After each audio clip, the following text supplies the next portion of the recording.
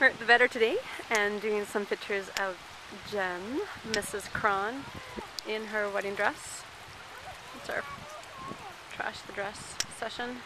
Absolutely freezing in the water. It's a beautiful day in September. And there are tons of fish. I don't know if you can see them, but all those splashes behind Jenn there are fish jumping. And there's a lot of people fishing here today as well. You can see a few close here. I don't know if you can see around the bend. I think there's like about 100 people fishing and they are just pulling them in about every five minutes.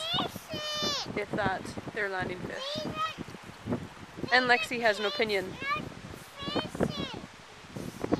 Oh, and she's pointing out the ones who are cuddling on the beach and not fishing.